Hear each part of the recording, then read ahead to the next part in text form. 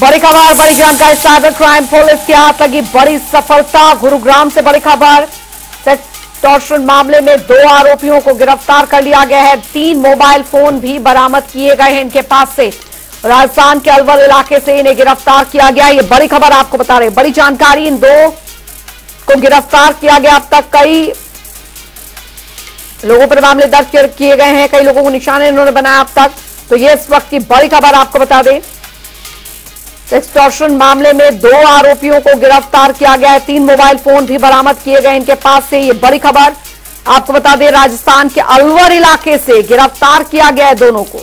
अब तक कई लोगों को शिकार अपना बना चुके हैं ये दोनों शख्स। वीडियो वायरल होने की धमकी देकर ठगी को अंजाम देते थे ये दोनों। साइबर क्राइम पुलिस के हाथ ये बड़ी सफलता लगी है। गुरुग्राम से इस वक्त की बड़ी खबर। सेक्सटॉर्शन मामले में दो आरोपी गिरफ़्तार, तीन मोबाइल फ़ोन भी इनके पास से बरामद किए गए हैं।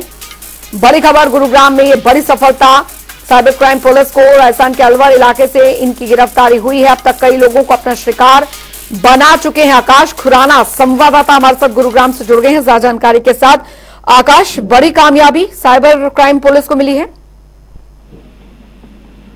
बिल्कुल, गुरुग्राम में साइबर क्राइम को बड़ी कामयाबी हाथ लगी है सेक्सोशन के मामले में दो भाइयों को गुरुग्राम पुलिस ने गिरफ़्तार किया है। साथ ही आरोपियों के पास से पुलिस ने तीन मोबाइल फ़ोन भी वो बरामद किए हैं और राजस्थान के अलवर इलाके से इन दोनों आरोपियों को गिरफ़्तार किया गया है। कई लोगों को अब तक अपनी ठगी का शिकार हम्म। जो है ये लोग बना चुके थे और वीडियो को वायरल करने की धमकी जो है देकर लोगों से मोटी रकम जो है वो ऐसे थे। अब फ़िलहाल गुरुग्राम पुलिस ने इस पूरे मामले में बड़ी कामयाबी जो है गुरुग्राम पुलिस को वो हाथ लगी है और फ़िलहाल आरोपियों को कोर्ट में पेश कर गुरुग्राम पुलिस द्वारा रिमांड पर जो है आ, मांगा जाएगा कोर्ट से और रिमांड के दौरान क्या कुछ खुलासे जो है वो इन दोनों आरोपियों से और होते हैं और कितनी वारदातों को इन आरोपियों ने अंजाम दिया है ये जाँच जो है वो गुरुग्राम पुलिस कर रही है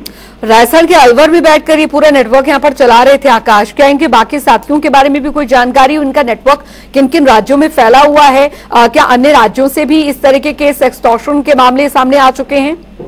बिल्कुल बात करें हरियाणा और राजस्थान से अब तक जो इन आरोपियों ने बताया है कि हरियाणा और राजस्थान के लोगों को ये जो है अपनी ठगी का शिकार बनाते थे और जिस तरीके से राजस्थान के अलवर से इन दोनों आरोपियों को गिरफ़्तार किया गया, और भी कई खुलासे जो हैं पूछताछ में इन दोनों आरोपियों से पुलिस कर सकती है, और कितने लोगों को अब तक ठगी का शिकार ये लोग बना चुके हैं, सारे खुलासे जो हैं पूछताछ के बाद ही पता लग पाएगा ठीक चलिए, बहुत बहुत शुक्रिया आकाश खुराना इस तमाम जानकारी के लिए। तो राजस्थान के अलवर इलाके से इन्हें गिरफ़्तार किया गया है। अब तक कई लोगों को अपना शिकार ये दोनों बना चुके हैं। वीडियो वायरल की धमकी देकर ये ठगी को अंजाम दिया करते थे ये दोनों।